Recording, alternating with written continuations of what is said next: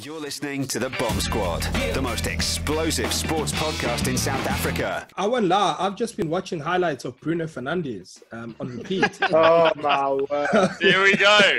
Oh, Off-season transfer rumors are abound. Adam Lallana has already gone to Brighton, your first move of, of the off-season.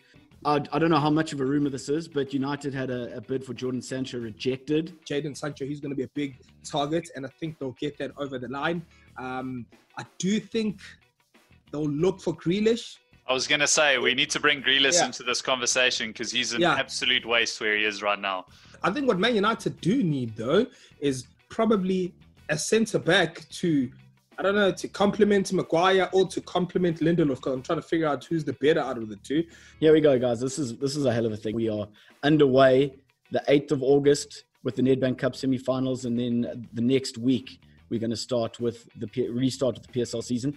There are 57 games left, and they've got a month to finish them.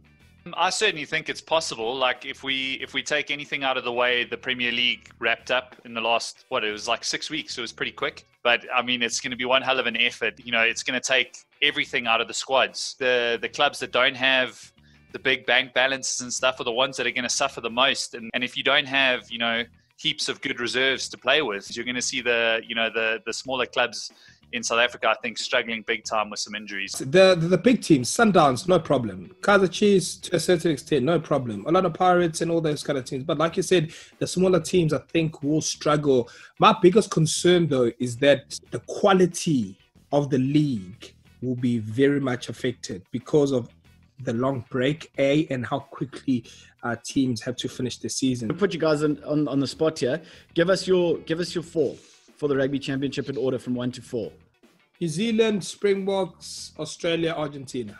I'm going to go Springboks at the top. Yo, Maybe second, Argentina. Third place, and The then the Pumas. Aussies, the Aussies back and forth there at the bottom.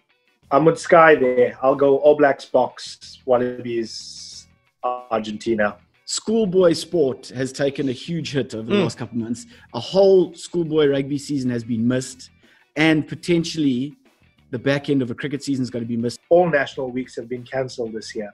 What's more pertinent and what's more important to talk about is how the lack of cricket and the lack of sport has directly affected kids. For a lot of these kids who live in rural areas, this is all they have. Uh, Along with the hubs and along with these development programs are nutrition programs. So a lot of these kids have their only meal of the day because they play some sort of sport. And this pandemic has taken that away from them. club rugby, soccer, hockey, whatever you do. I mean, the biggest loser, yeah, is the community. But from a personal point of view, I'll tell you what, um, bigger picture, uh, a rest uh, for the body. Uh, when you get a bit older, He's prolonged his whole year, career. right? Yeah, it's Uh, prolonged but his I, career. yeah, I've prolonged my career, you know. So, You're listening to the Bomb Squad, the most explosive sports podcast in South Africa.